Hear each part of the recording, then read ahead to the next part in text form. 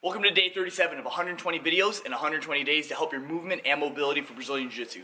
Today, one of my favorite moves is the Kimura that we're going to cover. What in fact we're going to do is give up our back to hunt for the Kimura, and we're going to make this a pretty cool movement drill. So stay tuned.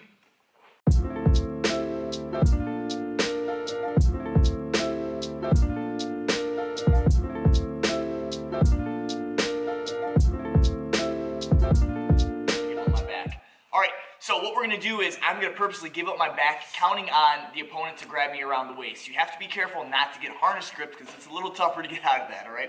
So the idea here is if we were rolling and he's on his knees and I'm on my knees, however I, maybe I was getting passed, I was in my guard, and I roll on purpose. When I roll, what I'm gonna do is I'm not gonna give up my shoulders towards him or my head. So when he comes around, he is passing.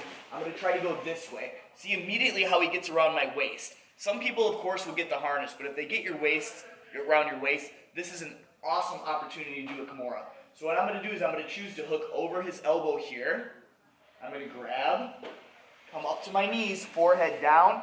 I'm going to pull, drop, and I'm to simply lay on his arm, okay? That's the strategy I'm looking for. You have to get to that when you roll live. A lot of different finishes from there, but here's how this drill is going to work. Keeping that in mind, I'm just going to start here. So he grabs my waist, hook, drop, get your grip together. I get it. Now to drill this, what they'll often do is start coming up to their knees. I'm to let go, go for the other arm right here. I get my grip, forehead, knees down, roll. I lay on his arm for a moment to pin him. When I feel he's coming out, I let him go for the sake of the drill. Grab, come up, forehead, knees, roll. Sit out.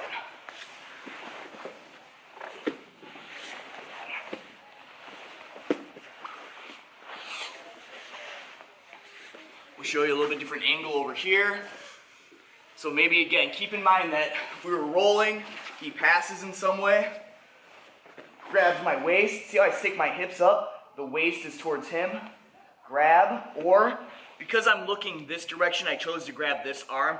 This arm might make more sense because it's closer to the arm. So as soon as I roll, I could go here. Instead of looking this way, I have to turn. That way I don't crank up my own neck and give myself any injuries.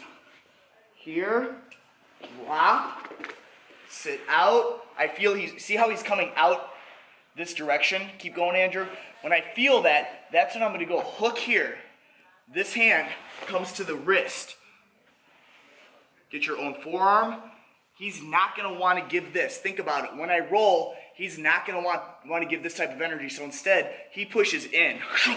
then I can roll over, then I'm right back to there. What we're really working with is counting on this guy does know some jujitsu as soon as I grab his arm, we all know that this is the Kimura. So our natural reaction is when someone grabs it in the Kimura, we want to tuck it or hug their waist right back. That's actually the, the uh, energy that I'm looking for. So when it tucks, I tuck and I roll on my side and just go with it and I come out on top. If you guys are looking for some finishes, let me know. I can do a different video on that. But just th doing this drill, I promise you, going back and forth, getting comfortable as soon as you grab, getting up on your forehead, because I have to lay from here. I grab forehead like this. All this space underneath me is where his arm is, and I'm grabbing both uh, with both of my arms. All right, okay, so practice that Kimura drill. The next video is going to build on this one, all right? Uh, hit subscribe, give me a comment below, give me some feedback. Appreciate you guys. Thanks.